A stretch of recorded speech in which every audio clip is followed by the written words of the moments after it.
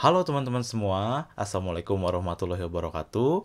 Selamat datang di seri lanjutan pembelajaran sastra Indonesia, yaitu seri pengantar teori sastra. Nah, di dalam rangkaian seri ini kita mau coba ngomongin sastra secara keilmuan. Tetapi sebelum itu, izinkan saya perkenalkan diri dulu. Nama saya Restu Bias Primandika yang akan memandu seri ini. Nah, seri ini ditujukan buat teman-teman yang pengen mempelajari sastra di tingkat lanjutan. Tapi buat yang mau belajar dari awal, saya sarankan untuk nonton terlebih dahulu seri pembelajaran pengantar sastra Indonesia di kanal ini. Linknya nanti saya akan taruh di deskripsi ya teman-teman. Oke, pada kesempatan pertama ini kita akan coba jawab satu pertanyaan simpel aja teman-teman.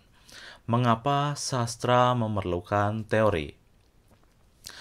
Oke, teman-teman yang pengen belajar sastra itu mungkin datang dari berbagai alasan entah teman-teman suka atau nggak suka, ketika teman-teman sampai di sini, teman-teman pengen satu jawaban. Apakah emang ada gunanya saya pelajarin sastra? Kedua, sepenting apa emang pelajarin sastra secara keilmuan? Nah, kita mesti jawab dulu nih alasan teman-teman sampai di sini. Pertama, itu ada yang bener-bener suka puisi, cerpen, atau novel ya. Terus tertarik pengen ngedalamin sastra gitu. Kedua, ada juga nih yang cuma ikut-ikutan karena banyak teman-teman yang lain bilang gitu. Jadi anak sastra itu terkesan hype banget gitu. Oke. apa-apa ya. Ketiga, ada juga yang emang kepaksa karena emang kuliah di bidang sastra ini ya. Terus teman-teman mesti pahami supaya bisa jawab ujian. Oke, mungkin uh, teman-teman di luar sana banyak dengar gitu ya. Ngapain sih baca cerita atau baca puisi doang mesti pakai teori segala ya. Nah, saya bisa ibaratin kayak gini teman-teman ya. Teman-teman ketika beli smartphone, apakah teman-teman hanya pakai buat nelpon sama SMS doang? Nah, coba jawab. Mungkin teman-teman ketika beli itu ada yang ngegunain buat chatting ya, buat selfie, foto, bikin video, atau nyimpen file atau kalau teman-teman tajir itu bisa jadiin smartphone-nya buat ganjel jendela gitu ya. Nah, jadi banyak banget intinya fungsi smartphone tuh ya. Nah, ketika teman-teman belajar sastra buat ngehibur doang gitu ya, itu ibaratnya sama kayak teman-teman pakai smartphone buat teleponan atau SMS doang. Karena sastra pun fungsinya bukan hanya hiburan aja, tapi ada fungsi-fungsi lain ya contohnya fungsi didaktik atau ngasih pendidikan fungsi moralitas ya atau nentuin mana yang salah, mana yang benar gitu, dan lain sebagainya. Kalau pengen tahu lebih lanjut, nanti teman-teman cek aja videonya di kanal ini ya. Oke, nah sekarang pertanyaannya, gimana saya bisa dapetin fungsi-fungsi dari sastra tersebut?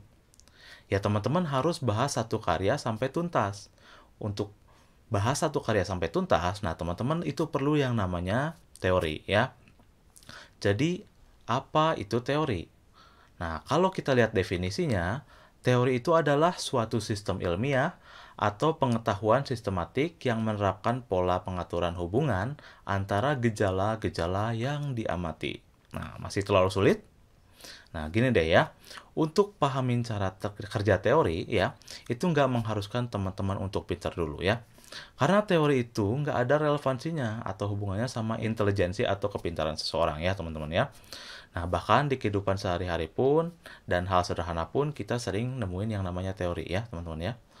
Nah, contohnya ketika teman-teman pergi ke tempat makan misalnya ya, dan teman-teman pesen ayam bakar nih misalkan. Lalu di ayam itu ada asapnya. Nah, teman-teman nganggap bahwa oh makanan ini panas. Kalau dimakan langsung, nggak ditiup dulu, nah bisa bikin lidah teman-teman itu kebakar.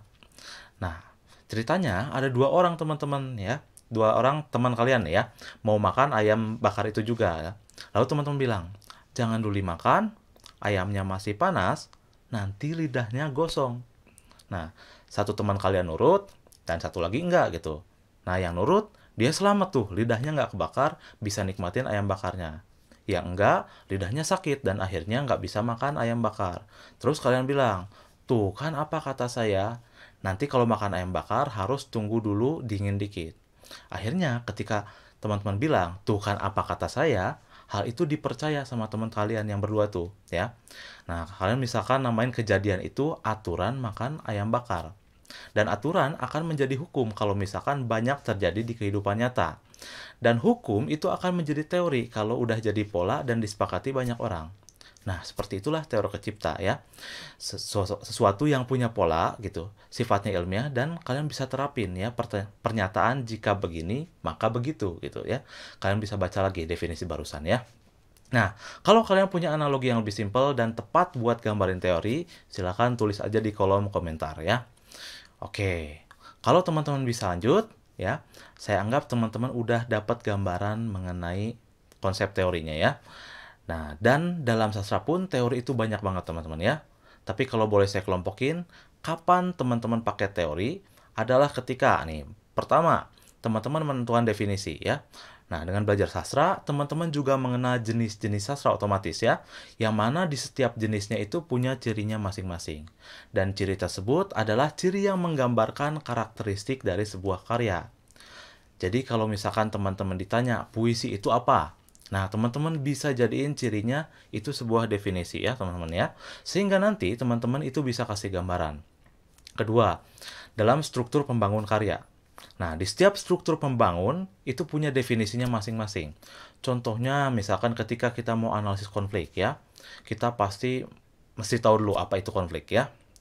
Atau contoh lainnya deh ya, ketika kalian tahu teori mengenai struktur plot nih ya, ketika kalian baca satu karya, prosa atau nonton film deh ya, kalian ngeh gitu, di mana awal ceritanya, di mana klimaksnya, gimana akhir ceritanya.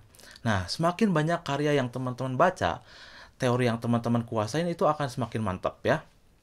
Nah, terus yang ketiga nih ya, sama halnya dengan yang kedua barusan ya, yaitu ketika kalian pakai pendekatan ya. Tentunya teman-teman mesti tahu dulu pendekatan itu mau ngarah ke mana dan bahas apa ya, dan apa yang bakal teman-teman dapetin. Nah, berdasarkan apa yang udah dicontohin, jadi apa tujuannya pakai teori untuk menganalisis karya sastra? Oke, saya rangkum lagi ya. Nih, pertama ya, teman-teman itu bisa dapetin nilai-nilai dari sebuah karya sampai ke akar-akarnya. Nah, oke. Yang kedua, teman-teman itu bisa lebih mudah ngerti maksud dari sebuah tulisan atau cerita. Oke. Ketiga, teman-teman itu bisa tahu struktur karya yang baik itu seperti apa ya. Jadi teman-teman bisa bikin karya yang oke punya nantinya ya. Keempat, teman-teman itu bisa mengkritisi sebuah karya. Artinya teman-teman udah patut menilai. Karena udah tahu teori, teman-teman pasti tahu karya yang bagus, yang kurang bagus itu seperti apa ya. Dan alasan teman-teman bilang bagus atau enggak itu juga bisa dipertanggungjawabkan ya. Oke, nah barangkali segitu dulu yang disampaikan. Nah, kayak tips dari saya nih ya, setiap teman-teman nemuin teori, jangan hafalin setiap katanya, tapi pahamin apa maksudnya buat apa dipakai dan langkah-langkahnya kalau ada ya.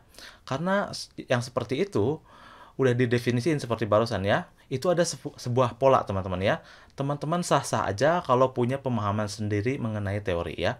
Bahkan kalau punya definisi sendiri itu teman-teman akan cenderung lebih mengerti dan lebih bagus lah ya. Sampai jumpa di kesempatan berikutnya. Wassalamualaikum warahmatullahi wabarakatuh.